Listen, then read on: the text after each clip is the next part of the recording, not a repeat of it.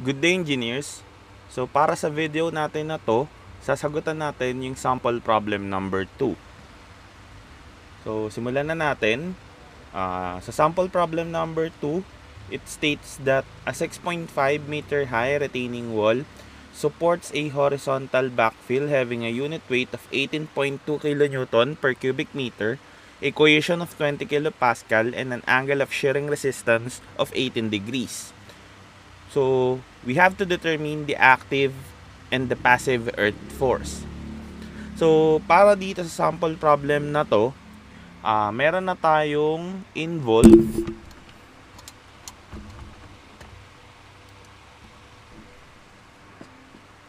meron na tayong involved na cohesion. So, as you can see, ayan siya, given, yung 20 kilopascals na cohesion natin. Then, given na rin yung angle of shearing resistance and yung unit weight ng soil. And sinabi na din na yung retaining wall is 6.5 meter high which is horizontal backfill. So, if we draw uh, that given problem, so, ito siya. So, as you can see, meron na tayong 6.5 meters high na retaining wall which is ito. Then, andyan na din yung properties ng soil natin. Yung gamma na 18.2, yung cohesion ng 20 kilopascals, and yung angle of internal friction na 18 degrees.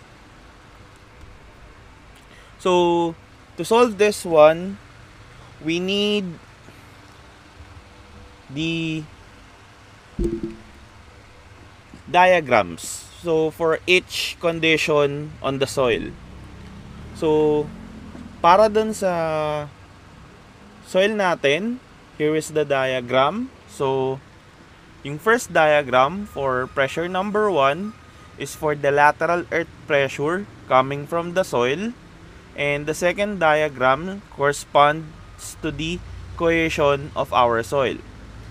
So, to start solving our pressures using these diagrams. So, syempre, kakailanganin natin yung active earth and the passive earth coefficients. So, to solve for the active earth coefficient, we will have K sub A, which is equivalent to a value 1 minus the sine of phi divided by the value 1 plus the sine of phi. So that is equivalent to a value 1 minus the sine of 18 divided by 1 plus the sine of 18. So our value for the active earth coefficient will be equivalent to 0.5279. So, ito ngayon yung ating active earth coefficient.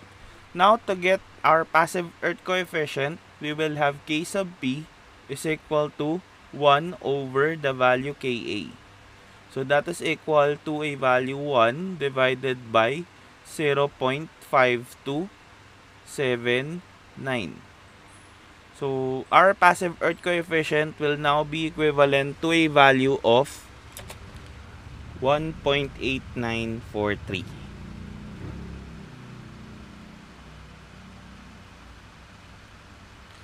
So ngayon, meron na tayong active earth coefficient and the passive earth coefficient. Now we can determine the pressure for the active condition. So let's start with our active condition.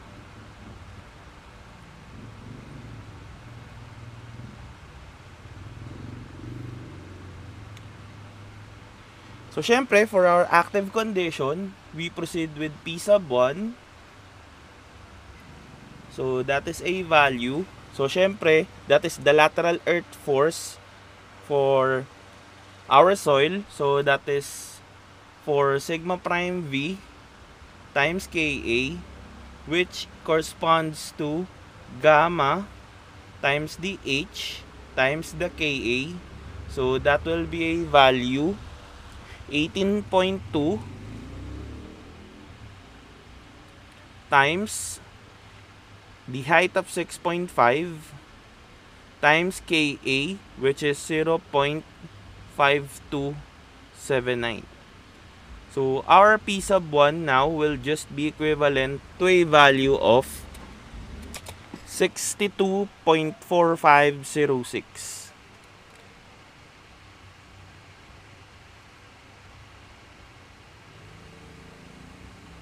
So this is in kilopascals. Now next, dun tayo sa P sub 2 which corresponds to the cohesion of our soil. So syempre nandito tayo sa active condition. So the cohesion of the soil will cause a negative value. So that is negative 2C square root of Ka. So that will be equivalent to a value of negative 2 times the cohesion 20 times the square root of 0.5279.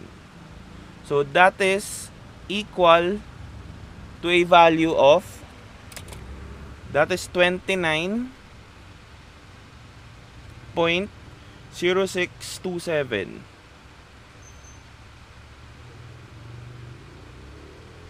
So that is in kilo pascals. So, syempre, meron na tayong pressure 1 and pressure 2. So, kapag ginawa natin yung forces at ini-add natin, uh, ang mapapalabas natin is a value na force before the tensile crack occurs. So, lagyan pala natin to ng negative value. So, this will be equivalent to negative 29. So, gawin natin or kunin natin yung force bef or yung active force before the tensile crack occurs. So, syempre, kunin natin yung forces. So, for our F1, so, syempre, yung diagram natin dito for F1 is ito. So, ito siya. So, syempre, kunin natin yung area niyan which is a triangle. So, since that is a triangle, so we could have F1 is equal to 1 half times P1 so 1 half times P1 times the height H so that will be equivalent to 1 half times 62.4506 times 6.5. So that is just equal to a value of 202.9646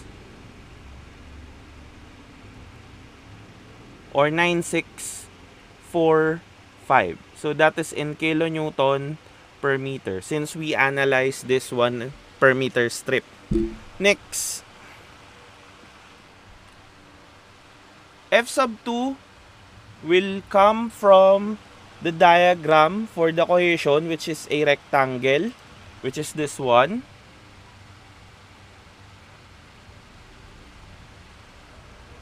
So that will just be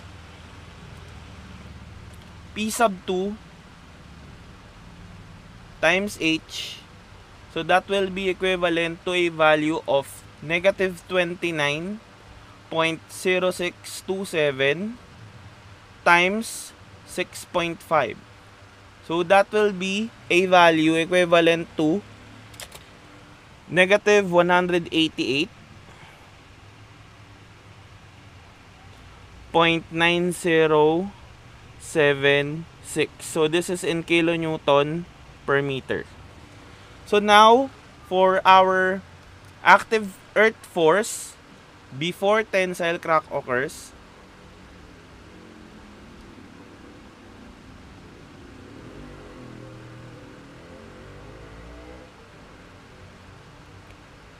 So we have a value FA is equal to F1 plus our F2 So that will just be 202.9645 plus negative 188.9076.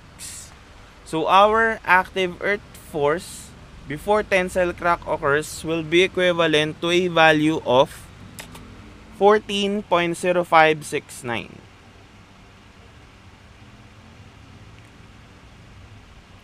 So this is in kilonewton per meter. So ito na ngayon yung hinahanap, ha, inahanap natin na active earth force before tensile crack occurs. So alternatively, pwede din natin siyang kunin using a resulting diagram. So for the resulting diagram, we can have So yung resulting diagram natin will be a value So since kinuha ko kasi na negative sign na yung cohesion, so dito i-add natin yung kung ano man yung pressure sa taas at yung pressure na nandito. So since negative na yung value doon, so P2 na lang yung nilagay ko kasi negative na yung value nung kinuha natin kanina which is ito, negative 29. So kaya P2 na lang yung nakalagay dyan. So pwede rin naman na that is negative P sub 2. Then, yung dito naman, we add P1 plus P2 since negative na yung nakalagay sa magnitude natin.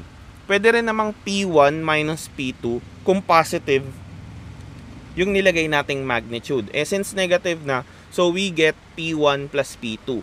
So, from this diagram, as you can see, since negative yung nasa taas at possible na positive yung nasa baba, this is just an assumption na positive yung nasa baba. Pero pag nag-negative yung nasa baba natin, ibig sabihin, yung buong soil is nag-crack. So, ibig sabihin, wala nang matitirang force after the tensile crack occurs. And we have a negative value for the force before tensile crack occurs. So, ibig sabihin, wala ding force doon since negative yung value, lahat sila puro tension. Pero, we get the tension part in uh, in the condition before tensile crack occurs. So, syempre, we solve for whatever is P1 plus P2. So, for this one, syempre, yung P2 natin, so, that is equivalent to a value, yung kaninang na-compute natin, which is negative 29.0627. So, that is in kilopascal. Then, yung P1 plus our P2 will be equivalent to a value 62.4506 plus negative 29.0627. So, that will be equivalent to a value of 33.3879.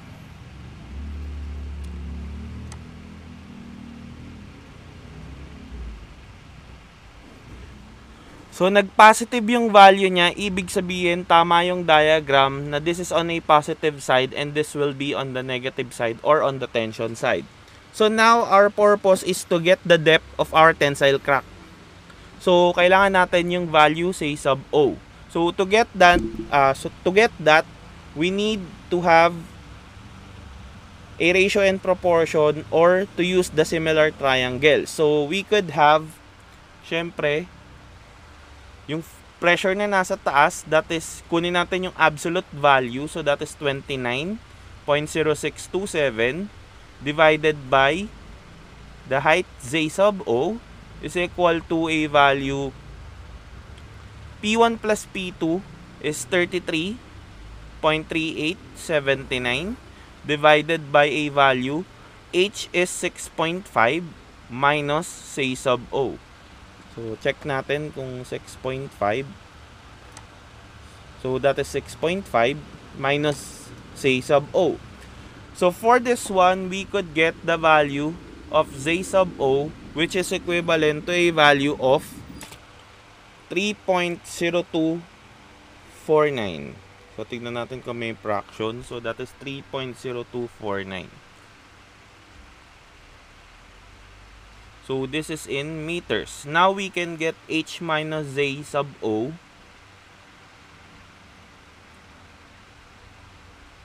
is equivalent to a value of 3.4751.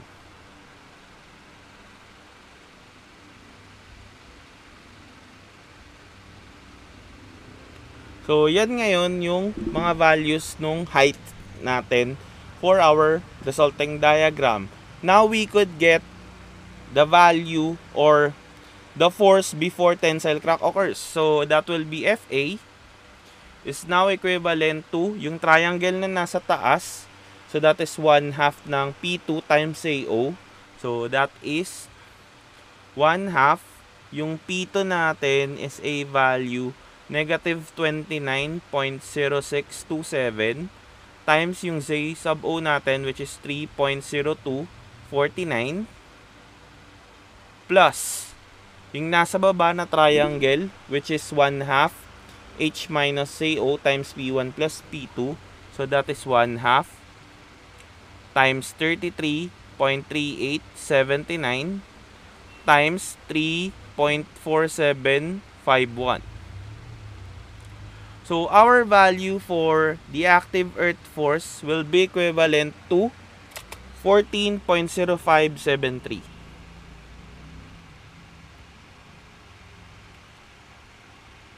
So this is in kilonewton per meter. So as you can see, tingnan natin kung malapit yung values niya. So halos magkalapit yung values. Mas uh, mataas lang to ng 0.004. So, negligible na naman halos yon So, this is our active earth force. Now, pwede na natin makuha yung ating active earth force after tensile crack basta tatanggalin na natin etong tension side. So as a result, we have a diagram na to. So, ito yung diagram for our force before tensile crack. So, tinanggal na natin yung part ng tension. So, it has a height equivalent to a value. So, yung na-compute natin kanina na 3.4751. So, ito siya ngayon. So, para makuha natin yung active earth force before or the after tensile crack occurs. So this is after tensile crack occurs. So that will be equivalent to a value f sub a is equal to so area lang ng triangle so that is 1 half times yung P1 plus P2 value natin kanina na 33.3879. So that is 33.3879 times yung height na 3.4751. So that will give us a value equivalent to 58. 0.0131. So this is in kilonewton per meter. Ito na ngayon yung active earth force natin after tensile crack occurs. So just remember kapag meron ng effect yung cohesion, you have two values for our active earth force. Isang before tensile crack occurs and isang after tensile crack occurs. Now we can proceed to getting the force on the passive condition. So before that, kailangan din natin syempre i-drawing yung diagrams niya which is So ito yung gagamitin nating diagram din for our passive earth condition. So syempre sa passive earth, we consider the pressure for the cohesion as positive. So calculate muna natin yung pressure. So, passive condition.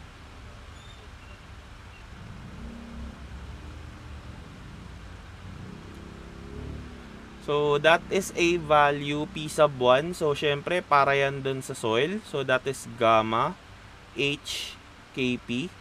So, yung gamma natin dyan is equal to 18.2 and yung KP natin is 1.8943. So that is 18.2 times 6.5 times 1.8943. So that is equal to a value ng P sub 1 which is 224.0957.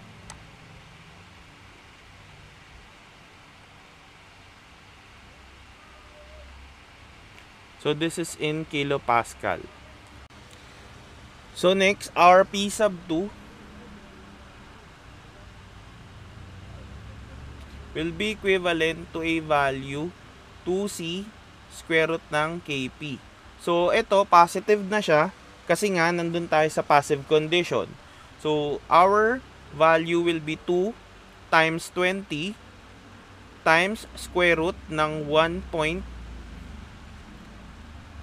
square root ng 1.8943. So that is equivalent to a value of 55.0534. So this is in kilopascals. Now, isolve natin siya using our forces. So we will have F sub 1. So yung F sub 1 natin is for the triangle which is this one. So we could have F1 which is 1 half times RP1 times DH. So that will be equivalent to 1 half times P sub 1 will be 224.0957 times H which is 6.5. So we could have a value equivalent to 728.311.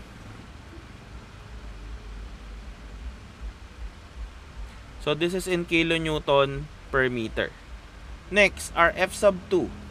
Our F sub 2 will correspond or will correspond to our rectangular pressure diagram. So that is P sub 2 times H.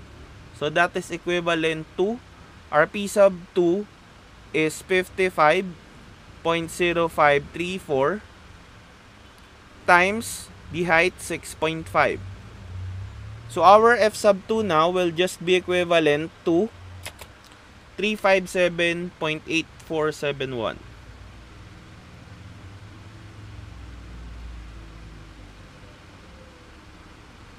So this is in kilonewton per meter. Now adding those two forces, it will result to our passive earth force. So that is F sub 1 plus our F sub 2. So our passive earth force now will be equivalent to a value of 1086.1581. So this is in kilonewton per meter. So ito na ngayon yung ating passive earth force na hinahanap. So we have solved the active earth force before and after the tensile crack occurs and also our passive earth force. So that will be all for this video on our sample problem number 2. Again, this is Engineer Rodolfo. Thank you for watching and don't forget to subscribe to Butch TV.